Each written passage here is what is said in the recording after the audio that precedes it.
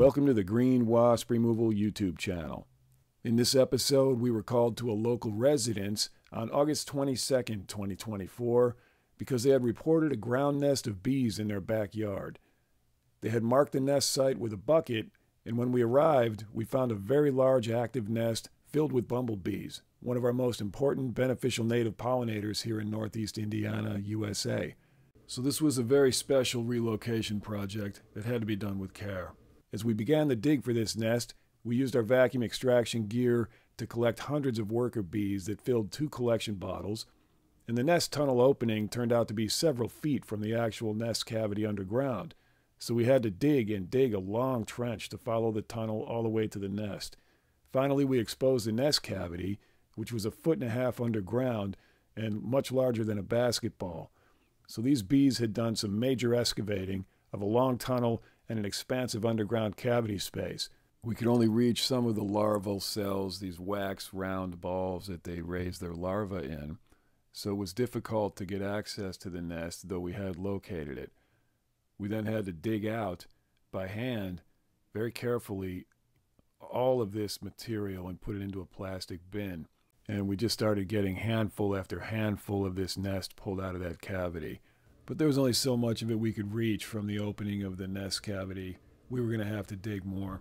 Bumblebee nests are a combination of nesting material similar to what rodents use, like soft grass and plant material, along with all the wax material that they store their larvae and their food in.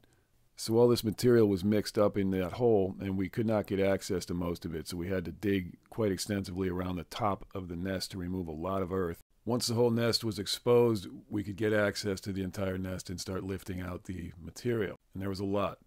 And this was a huge nest. It, there was a tremendous number of wax cells in there. We just started filling up this plastic bin with this nest, and then we identified the queen. There she was, right in the bin. It was perfect, and we could contain her with all her workers. And at that point, we were set to relocate the nest to a native prairie owned by a local church. They had given us permission to put these beneficial native pollinators right on their land. So we were able to dig a hole in the native prairie that they had and set up a box that we could put the nest into underground. And in this box, we also added a cardboard tube to simulate their tunnel, and we buried everything underground just as the nest had been found except for the tube which led up to the surface. For the most part, bumblebees are pretty docile, and they're a mellow insect, and they'll never bother you. But as you see here, they were attacking in force when we messed with their nest a little too much for their liking. But ultimately, we got them reburied in the ground, along with their queen, a lot of their workers, and their nest cells. So we believe this will be a pretty successful relocation. It was a beautiful landscape, and it's a native prairie. This is exactly where bees and wasps belong. Lots of wildflowers, lots of things to pollinate, lots of nectar to gather. So we hope they're going to do okay here. So let's take you back to August 22nd. We're going to show you the entire process. From the collection of the bees to digging out the nest to getting them relocated on this native prairie landscape. If you enjoy the show, please remember to like, share, subscribe, and comment. August 22nd, 2024. We're in Silver Lake today at a private residence. In the backyard, they have a bumblebee nest. They marked it with this bucket. You can see them coming up and down from this hole in the ground. One here, where you see that one just landed.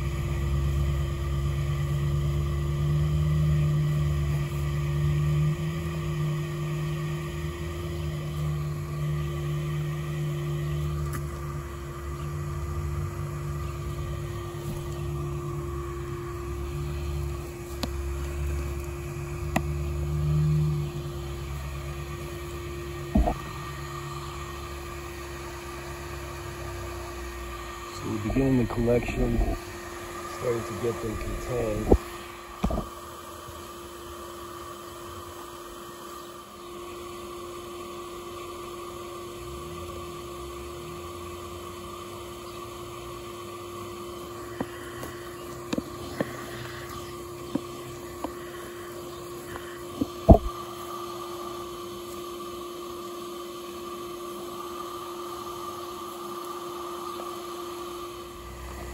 So we found the main hole.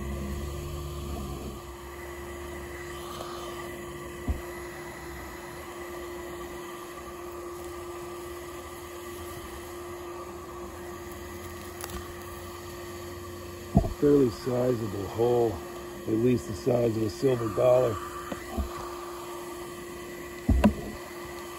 Now we have more coming out. Bumblebees are a very beneficial eusocial species. So they're out pollinating. So when they come back, you can tell they've been out doing their job, pollinating.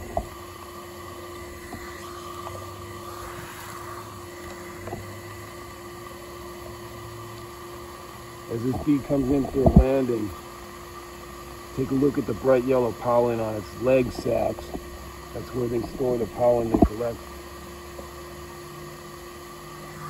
You can see it on some of these bees that are contained already. Very bright.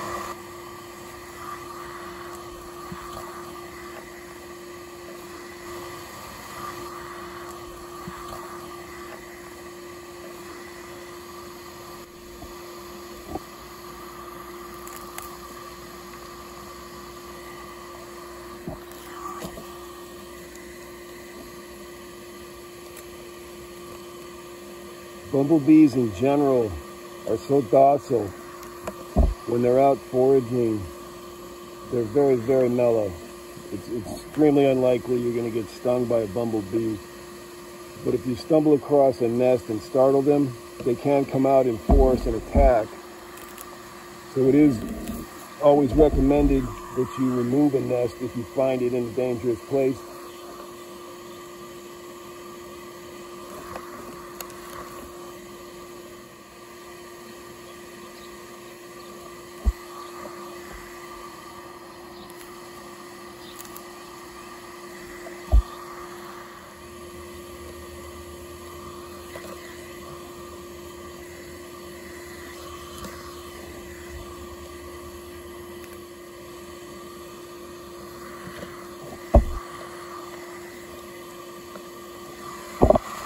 We're getting a good collection here.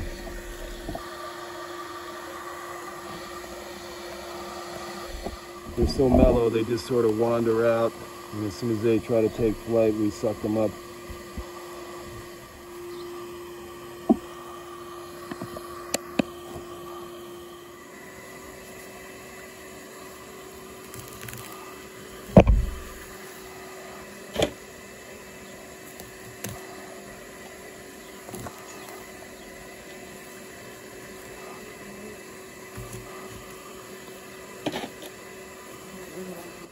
So the initial collection point was this half dollar size hole that we started to excavate. We assumed maybe the nest would be within a few inches of this point. So the dig began and it just kept going and going and going. And we realized they are nowhere near where this tunnel entrance was. It's going to be a longer dig than planned. And that's often the case with wasps, but we didn't know what to expect with these bumblebees. Initially, as you see here, the tunnel was about a foot, foot and a half long, and it just kept going. And as we kept digging this trench out, following the hole, the tunnel, it just kept extending until it was several feet long. We started running into objects under the ground and caverns and holes under the ground. It turns out there was a building structure that had been demolished and put under this ground. So there was a lot of cavities from all of that debris. Man, this tunnel is crazy. It started here, it's gone all the way around, and now we're all the way over to here. It's this big. It's a big tunnel, and it just keeps going. They were walking for several feet to get to this nest, and we're still digging. We've got bees coming out of the right side tunnel down here. So there's branches on this main tunnel. Comes all the way down, goes off a branch of there, and we've got bees coming out of here.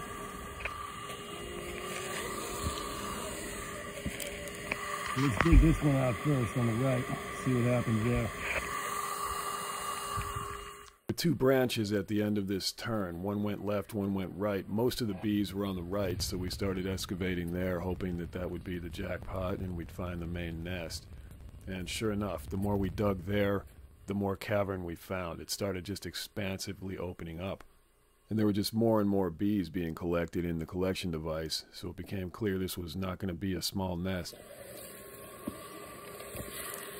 So, we're starting to get a blockage. We have so many bees. We're having a blockage in the suction, so we're going to change out the container. Listen to these guys, they're so loud.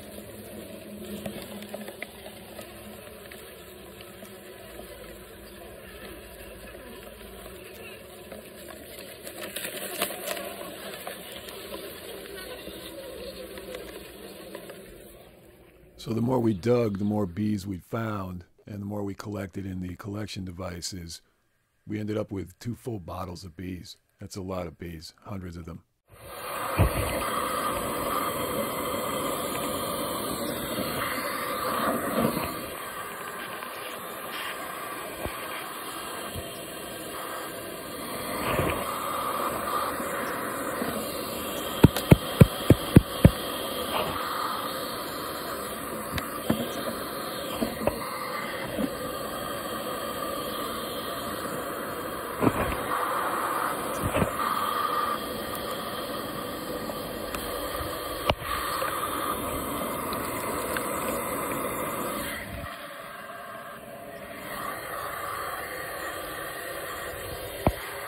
So there were bees in every part of this tunnel. As we dug and dug and dug and went foot by foot on this tunnel, we just kept collecting more and more coming out of the tunnel. And eventually we started seeing a fairly large cluster of them uh, toward the end of this tunnel, and we knew we were getting close to the nest. And you have to be careful with bumblebees as far as sting risk is concerned. They have a non barbed stinger. That means their stinger is smooth, and like wasps, they can sting you multiple times without losing their stinger. Unlike honeybees that have a barbed stinger and they die after they sting you once, bumblebees can get you multiple times, so you have to be really careful. This is why we're wearing an extra pair of work gloves over the bee gloves.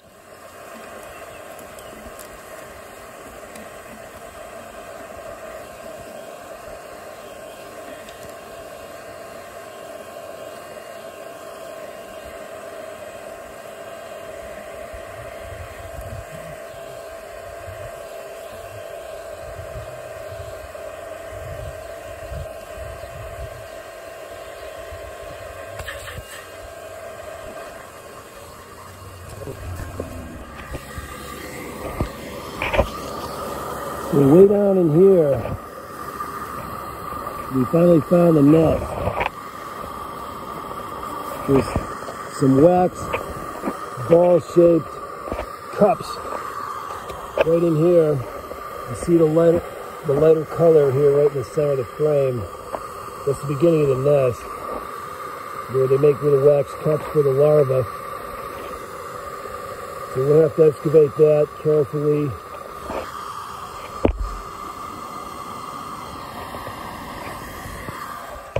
This is what looks like. These are the wax cups that they make for the larva.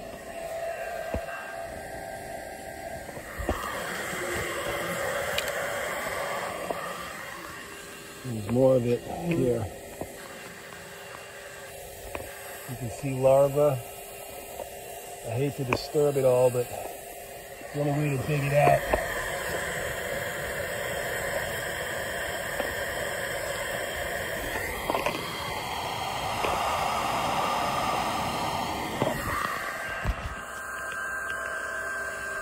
It's a massive nest. There's handfuls and handfuls of this coming out of this hole. Tons of wax, larva, casings, and larva, and you name it.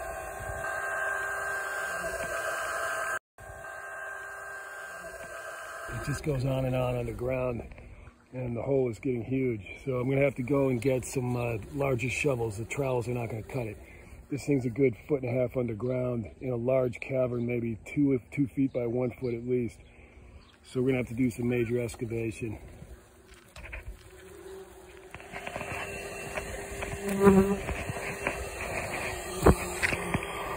So we've got a very deep tunnel down here.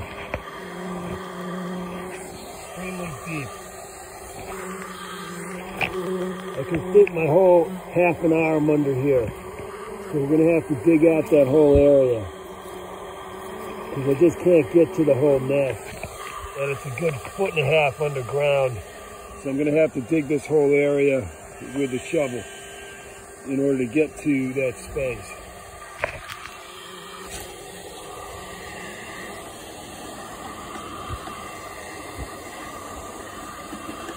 And there's so many bumblebees.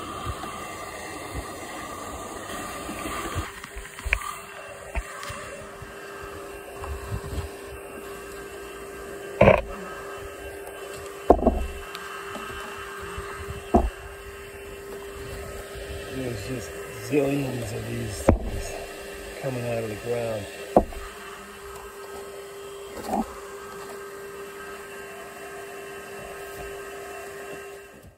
So as we dug and dug to get the rest of this nest exposed, we just started refilling the trench as we went along. So once the nest was exposed partially, it was just a matter of digging further and further until we could get to the entire cavern that they were living in. It was a very large cavity space that they had found and dug out. And inside that cavity space were hundreds of bees and a lot of soft plant material that they had dragged underground. They set their nest up almost like a mouse nest. It's got a lot of soft grass and plant material. And then within that is a whole bunch of these small wax balls or cups. And inside each one of those is a larva.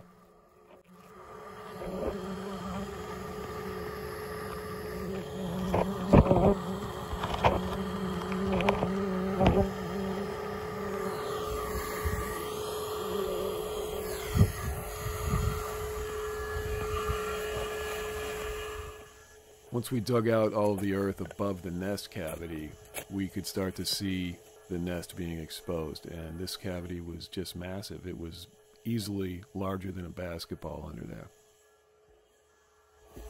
This is what we're looking for. And there's a lot of it down there still. So then it was just a matter of digging out handful after handful of these wax balls and all of the nest material around it. See that? That's a bumblebee nest. And we'd already put a substantial amount of it into the bin that we brought just to contain the nest. Whatever we could reach from the tunnel that we had opened up, we had already put in the bin. And then once we opened up the earth above the rest of the cavity, we just started filling it up with more. Then it was time to try to track down the queen. You're always hoping to find the queen with any type of underground nest, otherwise, they can just rebuild as soon as you leave. This could be our queen right here. Here's the queen. This is the queen.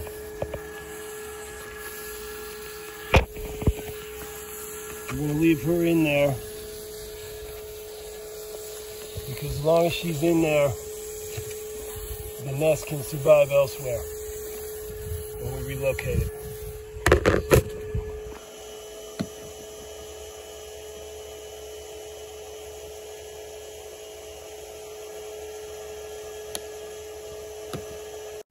So unfortunately, right at this moment, we lost power on the camera. It overheated in the sun. Nothing we can do about that. We just have to let it cool down. So we just took handfuls and handfuls and handfuls of this nest out of this giant cavern underground. It was hard to believe how much was in there and how deep in they had been entrenched. And they had several feet of tunnel from the point where they were coming out of the ground all the way over to the point deep underground that they had excavated out and put in a bunch of soft grass and things, and then put in tons of these wax little ball cups in which they raise their larvae. So we were able to collect hundreds of bumblebees. We were able to capture the queen, and we got a bin full of nest to relocate. It's important to always try to relocate bumblebees because they are our best native pollinators. They estimate on many crops bumblebees are two to four times more effective pollinators per bee than honeybees. Bumblebees work flowers when they're pollinating and nectaring 50 to 200% faster than honeybees, and they work 50 or more percent longer hours every day compared to a honeybee. And honeybees are invasive. They don't belong on this continent. They come from Eurasia. So we've got a zillion bumblebees in here. Can't see them very well because they're buried in the dirt we collected with it. Because we're just going to rebury them with their nest um, off-site in a native prairie nearby.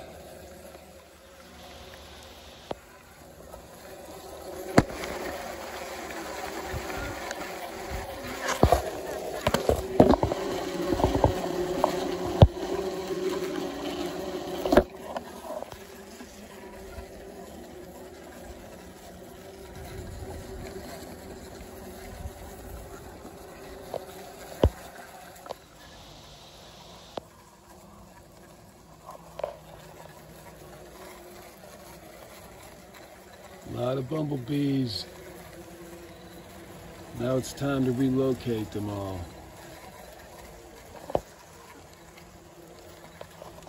And their nest and their queen is here.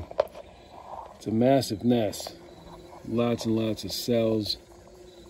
A lot of dirt and material had been carefully packed down underground by all these bees. So we'll put all this back underground and we'll make a tunnel out of a cardboard tube. So we're about to take this nest over and relocate it. There's the queen and some of the workers.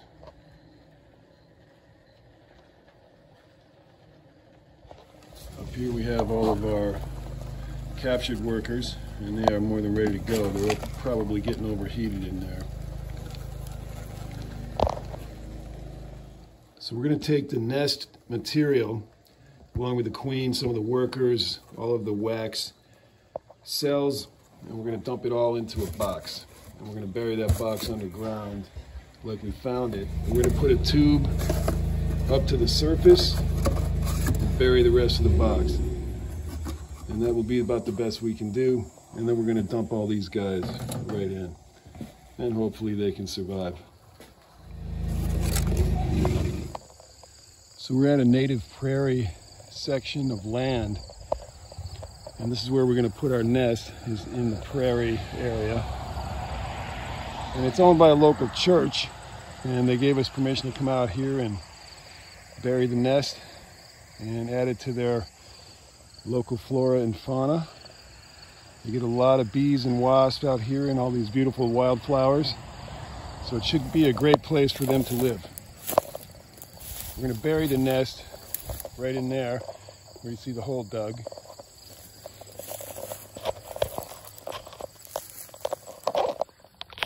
So the first thing we're gonna do is take this nest out of the bin and put it right in the box, which has been pre-positioned in the hole.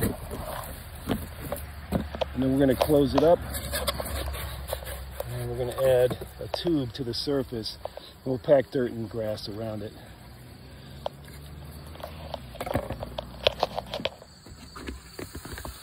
Here's our nest. This is the queen right on top, taking care of business. And we're just gonna start scooping it out.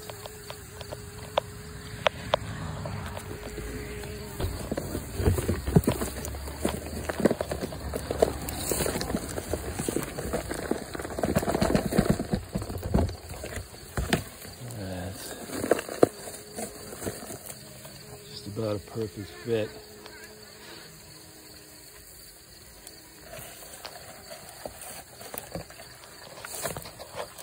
Up some of these guys down into the nest box.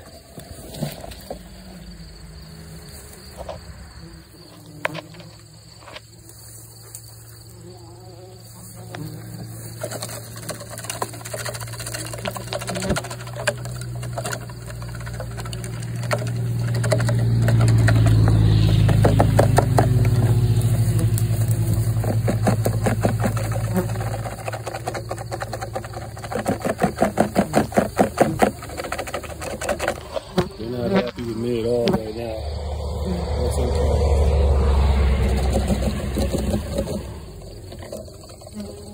That's about as good as we're going to be able to get it. Now, I'm going to close it up.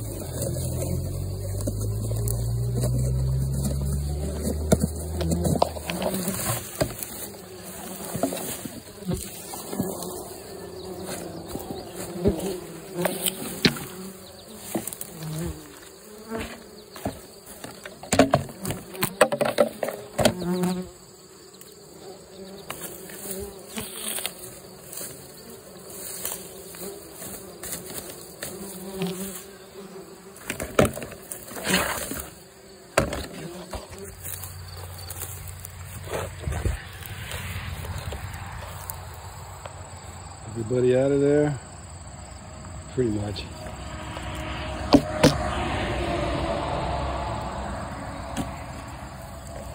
Uh, anybody left in here?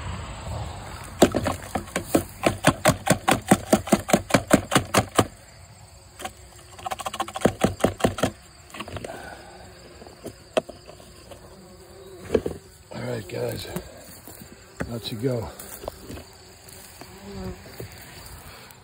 I guess looks pretty good.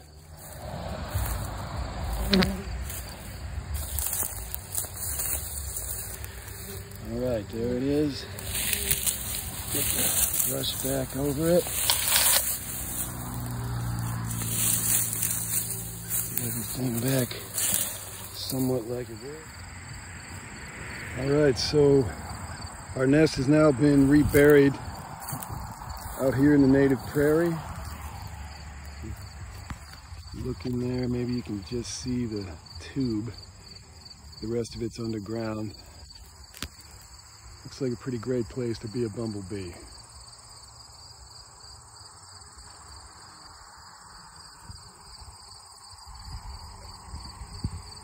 So good luck, bees.